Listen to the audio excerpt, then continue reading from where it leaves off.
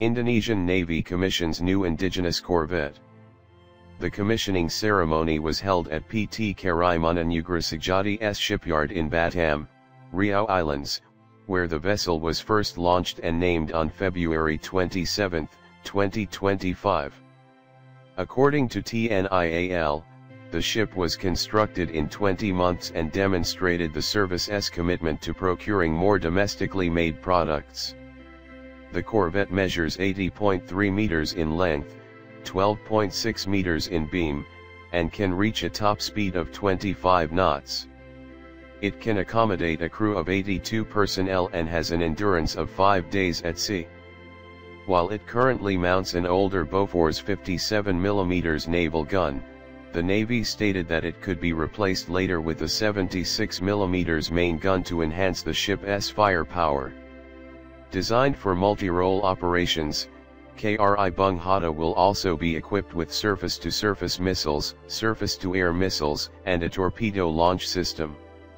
In addition, the Corvette will feature electronic warfare capabilities, including radar electric countermeasures RECM and radar electric support measures RESM.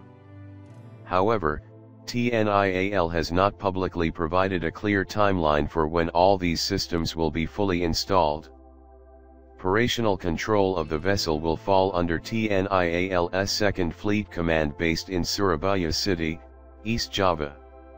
KRI Bung Hatta will also be deployed to patrol and secure the country's key maritime choke points, TNI AL added. Back in April 2023, the same shipyard launched a 73-meter corvette named after Indonesia's first president, Sukarno KRI Bung Karno 369. While both ships share a similar lineage, there are notable design distinctions beyond their dimensions. KRI Bung Hatta features a shorter angled forward superstructure compared to its predecessor. It also has a visible gap along its superstructure amidship an area typically reserved for surface-to-surface -surface missile launchers, suggesting a greater emphasis on combat tasks. One likely explanation for this design divergence is,